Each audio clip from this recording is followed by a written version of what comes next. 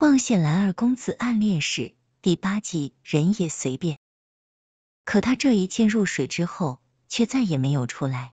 催动剑诀再三回照，也没有任何东西从水里被照出。他那把剑竟像是被湖水吞了一样，消失的无影无踪。这名门生瞧着是个与魏无羡他们差不多大的少年，失了佩剑，脸越来越白。一旁有年长的门生道：“苏舍，目下都没查清水里是什么东西，你为何擅自催剑入水？”苏舍像有些发慌，神色却还算镇定。我见二公子也催剑入水。他没说完便明白过来，这句话有多不知深浅。无论是蓝忘机还是碧晨剑，都不是旁人能比的。蓝忘机可以在不明敌物之时召剑入水无事，其他人却不一定。他脸色苍白里又透出些羞耻的红，仿佛受到了什么侮辱，瞅了蓝忘机一眼。蓝忘机却没看他，凝神望水。须臾，碧晨再次出鞘，这次剑身并没插入水中，而是剑尖一挑，将一片窜过的黑影从水底挑出，湿淋淋、黑漆漆的一团，扑通一声摔在船板上。竟然是一件衣服，魏无羡踮起脚看过来，顿时笑得险些一头栽进河里。他道：“蓝湛，你好厉害！我第一次看到捉水鬼把水鬼衣服扯上来的。”蓝忘机暗自盘算着，要不要一剑把那货抽下水去，随即收回心神，仔细查看碧晨的剑尖有何异样。他习惯先办正事，断然不能乱了心神，于是不去理会魏无羡。岂料被江城钻了空子。他道：“你闭嘴吧！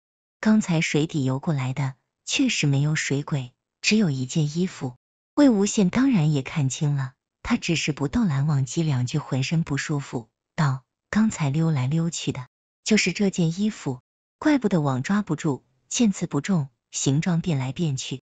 可一件衣服总不能吞掉一把仙剑，这水里肯定还有还有别的东西。”此时，船只已飘至碧灵湖的中心。湖水颜色极深，墨绿墨绿。忽然，蓝忘机微微抬头，道：“现在立刻回去。”蓝曦臣道：“为何？”蓝忘机道：“水中之物是故意把船引到碧林湖中心来的。”话音刚落，所有人感觉船身猛地一沉，水流迅速蔓延入船。魏无羡忽然发现，碧林湖的湖水已经不是墨绿色了，而是接近黑色，尤其是接近湖中心的地方。四周不知不觉生出了一个巨大漩涡，十几只船都顺着漩涡正在打转，边转边往下沉，就像要被一只黑色的巨嘴吸下去。出鞘声铮铮响成一片，个人陆陆续续御剑而起。危险关头，蓝忘机下意识的靠魏无羡近了些，虽然心知这厮应当不至于关键时候掉链子，但就他那飘忽不定、不按牌理出牌的性子，还是不能大意。果然，魏无羡已升到空中，忽然折了回去，看得蓝忘机大惊，俯首下望，却见那名驱剑入水的门生苏舍站的船板已被吞下了碧灵湖。他双膝过水，满面惊慌，却也没出声呼救，不知是不是吓到了。只见魏无羡不假思索，一弯腰，一伸手抓住他的手腕，拖了起来。多带了一个人，他脚下剑身陡然一沉。蓝忘机下意识的就要飞过去拽他，却见他已经稳稳的升了起来。蓝忘机止住往魏无羡方向飞行的动作，心下松了口气。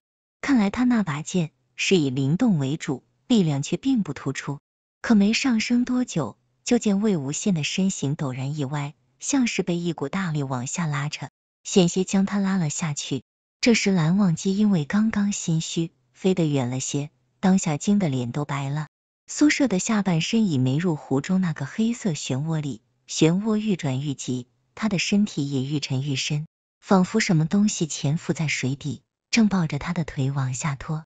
江城原本踩着他的三毒，好整以暇的升到湖面上空二十丈左右的高空，低头一看，满心不快的冲下去，道：“你又在干什么？”江城太清楚魏无羡的实力，他绝不认为魏无羡会应付不来这点状况。却没想到那厮居然几番折回去，还要去救别人。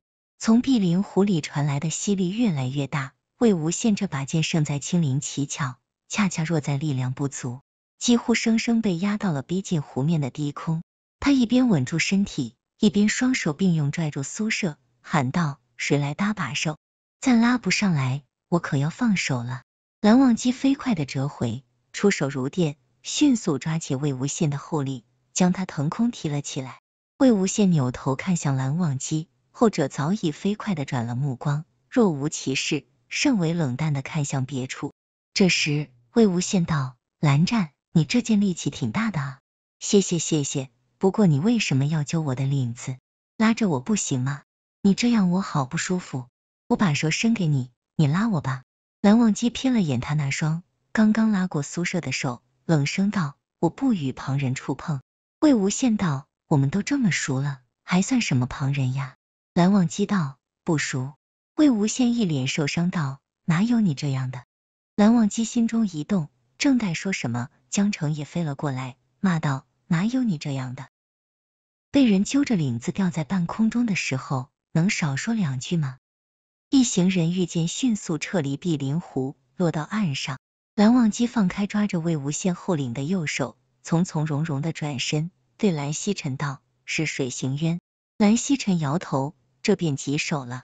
采衣镇一带的人都熟谙水性，从来极少有沉船或落水惨事。这附近不可能养得出水行渊。既然水行渊再次出现了，只有一种可能，它是从别的地方被赶过来的。水行渊一旦养成，那便是整片水域都变成了一个怪物，极难除去。除非把水抽干。打捞干净所有沉水的人和物，暴晒河床三年五载，而这几乎是不可能办到的事。不过，却有一个损人利己的法子可以解一时之忧，一方之患，那就是把他驱赶到别的河流和湖泊里，叫他去祸害别处。蓝忘机问道：“近日有什么地方受过水行渊之扰？”蓝曦臣指了指天，他指的不是别的什么，正是太阳。魏无羡与江澄对视一眼。心中明了，岐山温室，仙门之中，大小世家，星罗棋布，数不胜数。然而在此之上，有一个绝对凌驾于他们的庞然大物——岐山温室。温室以太阳为家纹，意欲与日争辉，与日同寿。仙府占地甚广，可比一城，名为不夜天，又称不夜仙都。据说城中无黑夜。说它是庞然大物，因为无论门生人数、力量、土地。仙气，其他家族都是望尘莫及，没有能与之抗衡者。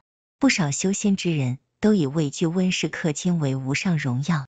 以温室行事的风格，采衣镇的水行渊极有可能就是他们赶过来的。